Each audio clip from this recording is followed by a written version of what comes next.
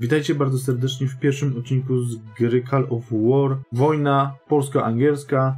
Słuchajcie, 50 zawodników przeciwko 50 zawodnikom. Polska przeciwko Anglii. Doszły mnie słuchy, że nawet i Amerykanie występują na, na tej mapie, ale to nie ma znaczenia. Gramy na wojnie pomiędzy Polską a Anglią. Walczymy o dominację na mapie 100-osobowej. I to jest pierwszy odcineczek, w którym Wam przedstawię sytuację, jaką mamy. Generalnie zostaliśmy podzieleni, że tak powiem, jest nas 50 Polaków, wybrani przez społeczność polską.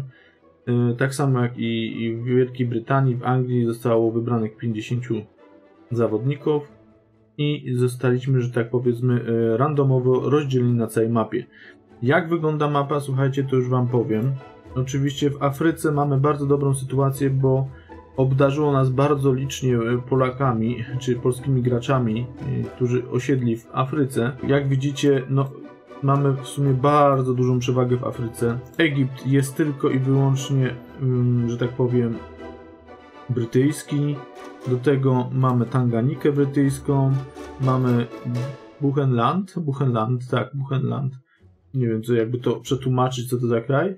W każdym razie Gabon francuski, Nigeria, mm, że tak powiem, jest też przeciwko nam oraz mamy francuski Sudan, który tutaj, jak widzicie, też jest przeciwko nam.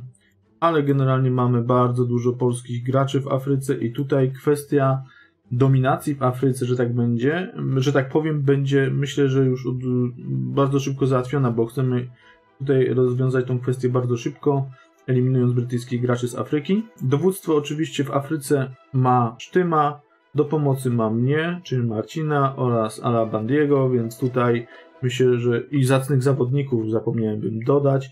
Naprawdę bardzo zacnych zawodników. Na tym turnieju mamy śmietankę, że tak powiem, polskich graczy i bardzo fajnie, bo, bo jest o co walczyć.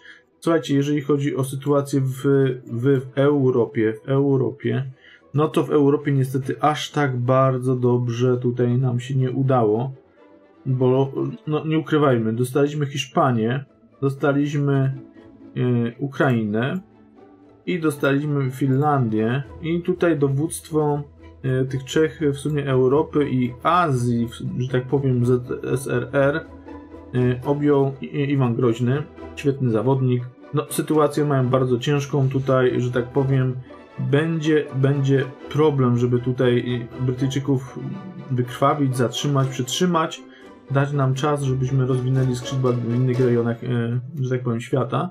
Jeżeli chodzi o Bliski Wschód, całkiem dobra sytuacja, bardzo dobra sytuacja, bo mamy Turcję, Syrię, Persję i słuchajcie, Anglicy mają tutaj tylko Irak i Arabia. E, są oddzieleni od Egiptu, jak widzicie.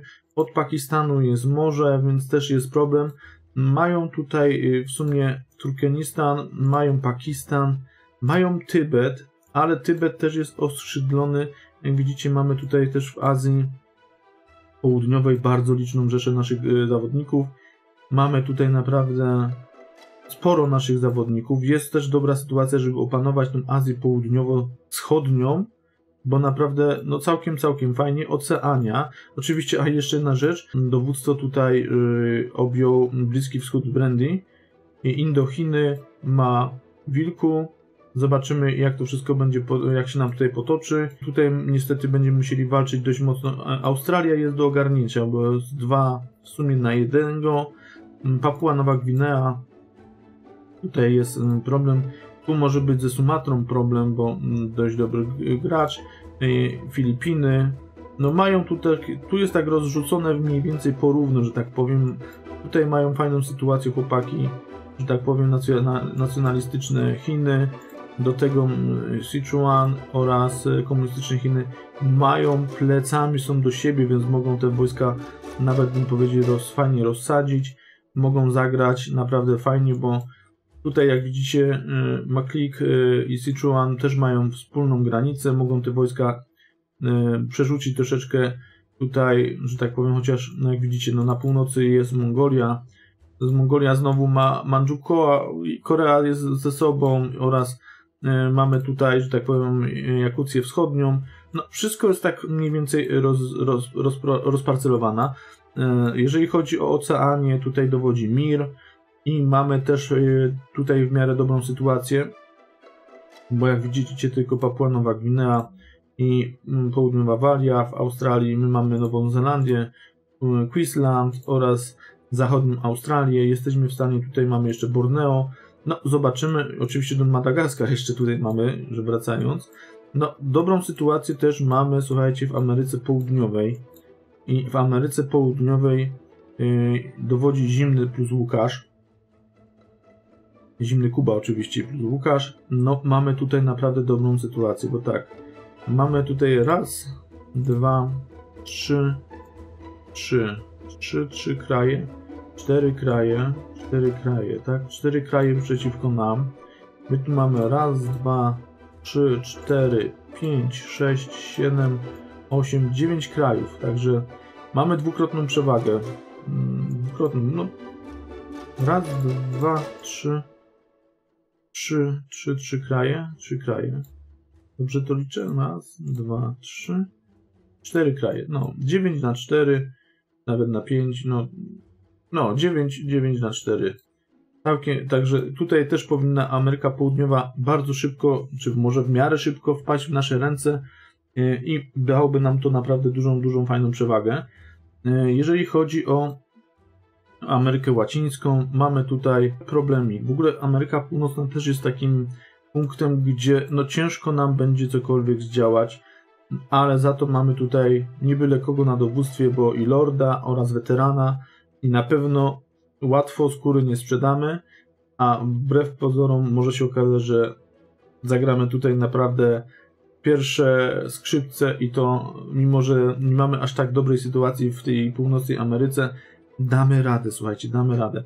Oczywiście mamy, kończy nam się okres pokoju, też nie wiemy do końca mm, co knują nasi wrogowie, po części już mamy tutaj mm, zarys co do niektórych krajów, Mamy już plany, zostaliśmy też w sumie podzieleni na kilka grup, że tak powiem, bo, bo składamy się z różnych grup.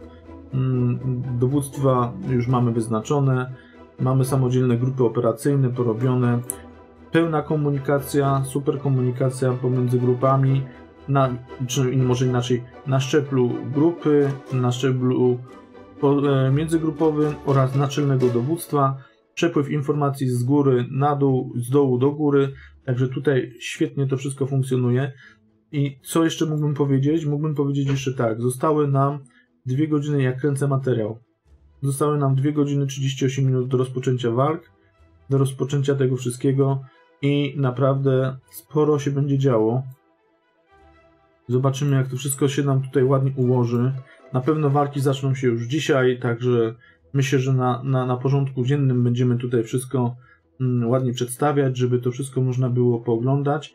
Nie tylko z gazetki, z opisów y, zawodników, ale myślę, że w następnym odcinku już spokojnie tutaj będziemy analizować walki, przebieg walk, będziemy się zastanawiać. Będę chciał, żebyśmy spotkali się większą grupą na żywo, żebyśmy przeanalizowali analizowali to, co się dzieje, także wszystko przed nami, także mam nadzieję, że trzymacie za naszych reprezentantów, że Polska musi wygrać, bo mamy naprawdę świetnych zawodników mm, i nic nie stoi na przeszkodzie, żeby po prostu pokazać na świecie, że Polacy potrafią być razem i potrafią przede wszystkim wspólnie osiągać sukcesy. Także tego się tego będziemy trzymać, tego będziemy pilnować i o to będziemy walczyć. Także pozdrawiam Was serdecznie z tego pierwszego odcinka i zapraszam na kolejne. Trzymajcie się, cześć.